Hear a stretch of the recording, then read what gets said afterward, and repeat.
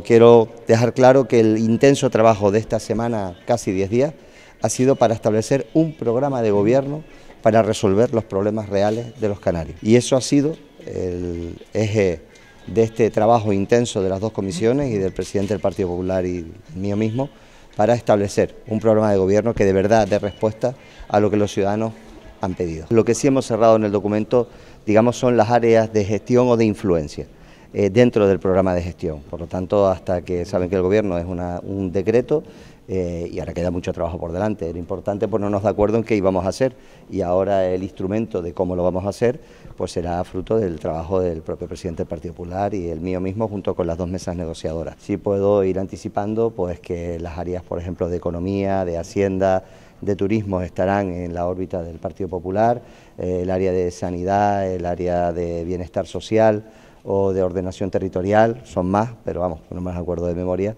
pues estará en la órbita de Coalición Canaria.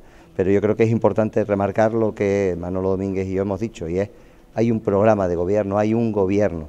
Creo que los ciudadanos han castigado gobiernos de compartimentos estancos donde nadie sabe lo que hace. La tarea por delante es importante y para eso tenemos que tener claro y estar de acuerdo en hacia dónde queremos llevar a Canarias. Y eso es lo importante del acuerdo de hoy el Partido Popular y Coalición Canaria tenemos una hoja de ruta de hacia dónde queremos llevar a los canarios.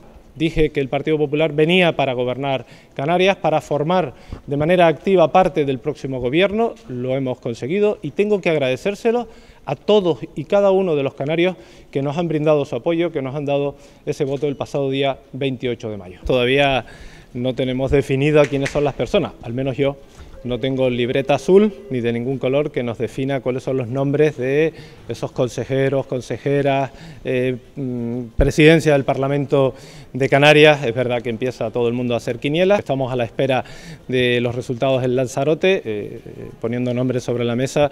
Alguno acertará quién será, pero todavía sin conformar el gobierno me parece, por mi parte, una irresponsabilidad empezar a hablar de cuál va a ser ya la estructura del Parlamento de Canarias.